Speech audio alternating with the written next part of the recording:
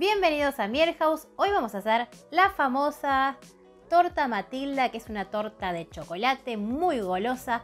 Les cuento que el bizcochuelo, así como lo ven, es realmente fácil y de poquitos ingredientes, así que pueden también, para el que no la quiere tan golosa, reservar la receta del bizcochuelo y rellenarla y decorarla como quieran. Así que vamos a ver la receta, que como siempre es súper fácil. Para este bizcochuelo fácil vamos a colocar sobre un colador dos tazas de harina. Y las vamos a tamizar para evitar cualquier tipo de grumos. Este bizcochuelo súper, súper fácil.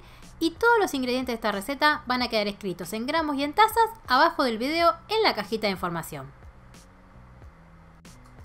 Lo mismo vamos a hacer con media taza de cacao,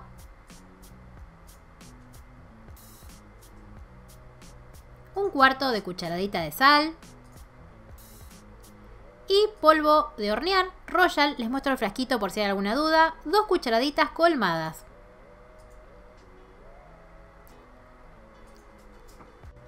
Media cucharadita de bicarbonato de sodio, esto va a hacer que nuestro bizcochuelo quede súper esponjoso y delicioso. Terminamos de tamizar, si nos quedan algunos grumos lo pasamos con una espátula. Y ahora sí vamos a agregar una taza de azúcar.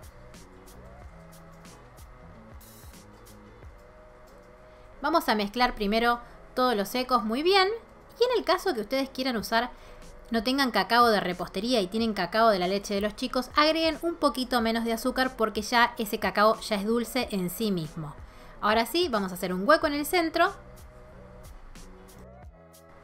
Y acá les quiero mostrar cómo voy a preparar el líquido. En este caso yo elegí leche, puede ser agua, a la que le voy a disolver dos cucharaditas de café instantáneo, que también, si no les gusta el café instantáneo, solamente usan leche, solamente usan agua, ustedes van a elegir el líquido cómo lo van a preparar.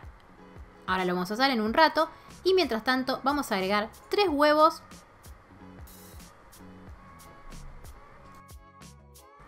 agregamos un tercio de taza de aceite, un aceite común, neutro, por ejemplo el de maíz, el de girasol, esos comunes que tenemos siempre en la alacena una cucharadita de esencia de vainilla y ahora sí vamos a empezar a incorporar de a poco el café con leche o el café solo o el agua sola o la leche sola, lo que ustedes hayan elegido. Y simplemente lo vamos a mezclar. Sin ningún tipo de cuidados hay que ir mezclando y agregando el líquido.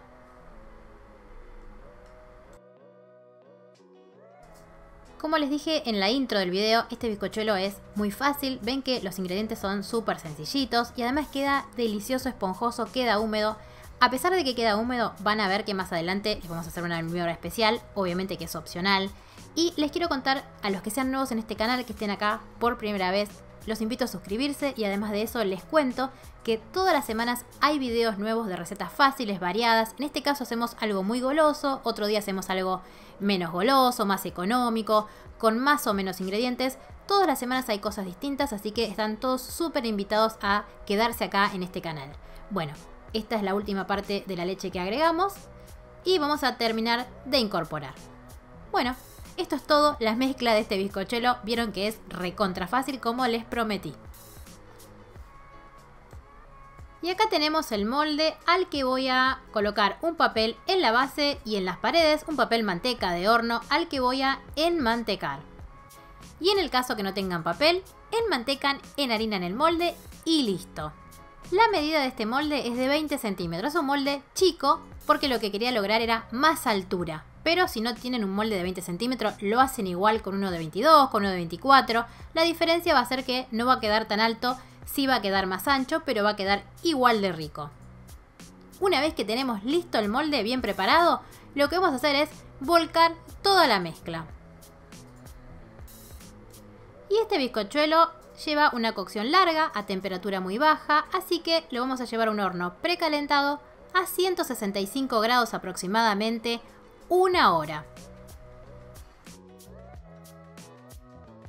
Y mientras se nos cocina el bizcochuelo, el bizcochuelo ya es húmedo en sí mismo, pero esto le suma un montón. Así que si lo quieren preparar, yo los incentivo a que lo hagan, porque es muy fácil. En un jarro vamos a colocar 150 mililitros de agua, 150 gramos de azúcar y en el caso que les guste el café, una cucharadita de café instantáneo. Lo revolvemos muy bien. Y una vez que rompe hervor, Simplemente lo vamos a dejar que se cocine dos minutos. Y listo, ya tenemos preparado nuestro almíbar delicioso. Lo retiramos del fuego y lo dejamos que enfríe. Y después de una hora, acá sale nuestro bizcochuelo del horno. Vamos a comprobar que esté cocido insertando un palillo, que no salga mezcla pegajosa y lo vamos a dejar enfriar. Y para aprovechar muy bien nuestro tiempo, mientras se enfría el bizcochuelo para poderlo desmoldar, vamos a ir preparando esta mezcla que va a ser el relleno y la cobertura. Vamos a colocar 300 gramos de chocolate, yo elegí un chocolate semi amargo. Voy a agregarle dos cucharadas bien generosas de dulce de leche repostero. Y acá en esta cacerolita tengo 400 gramos de crema de leche a la que calenté hasta llegar al punto de hervor. Y ahora sí, la voy a volcar sobre el chocolate y el dulce de leche. Y voy a dejarlo unos minutos hasta que se afloje el chocolate, va a depender del tamaño de los pedacitos de chocolate. Yo lo dejé dos o tres minutos, no más que eso, y recién ahí ya lo podemos mezclar. Y no se asusten que esto se ve muy líquido, pero a medida que va enfriando esto va a ir tomando textura, va a ir tomando cuerpo, así que lo vamos a dejar a un costado y lo vamos a esperar que baje un poquito su temperatura. Y ahora sí, ya está bien frío mi bizcochuelo, eso recuerden siempre que esté bien frío para desmoldarlo, esperen que vale la pena esperar, no lo desmolden en caliente, vamos a retirar el papel y en este caso lo voy a cortar al medio para poder rellenarlo. Hoy hacemos la famosa torta Matilda para alegrarnos un poco esta cuarentena, para darnos un poquito de alegría dulce. Pero ustedes vieron cómo fue de fácil hacer este bizcochuelo, así que ténganlo en cuenta para rellenarlo y decorarlo como quieran. El relleno está enfriando, ya tomó la consistencia que para mí es simple usar, cada uno lo va a usar en la consistencia que más le gusta, así que voy a ir pincelando el bizcochuelo con el almíbar que por supuesto ya está frío. Vamos a agregar una capa generosa de este relleno. Este relleno es bastante abundante. Hice bastante relleno para que sea bien golosa como la de la película. Cada uno hace su versión de la película porque por supuesto no hay una receta específica, pero bueno, la idea es que sea una torta de chocolate bien deliciosa. Vamos a emparejar para que tenga la misma cantidad de relleno en todos los cortes de esta torta. Y acá tenemos la otra parte del bizcochuelo. Lo voy a dar vuelta y lo voy a pincelar con almíbar.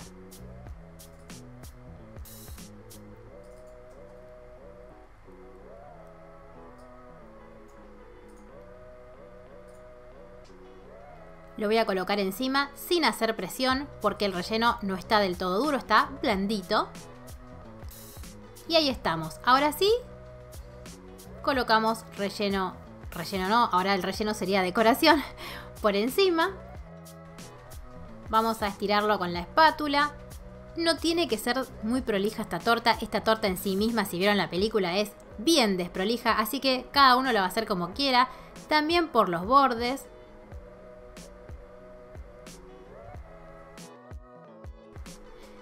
Y con la misma mezcla colocada en una manga, en este caso le voy a hacer una pequeña decoración muy simple en el contorno de la torta.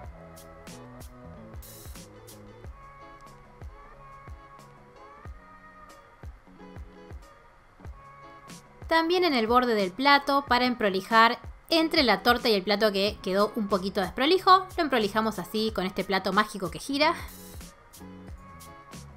pompón arriba y lista nuestra super torta. No me pueden decir que esto no fue fácil y exquisito. Y por supuesto la vamos a cortar para que vean cómo quedó por dentro.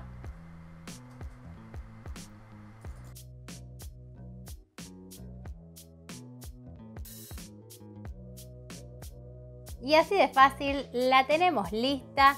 Espero que les haya gustado mucho, mucho esta receta. Dedito arriba si les gustó. Suscríbanse a House si todavía no lo hicieron y nos vemos en el próximo video. Chao, chao.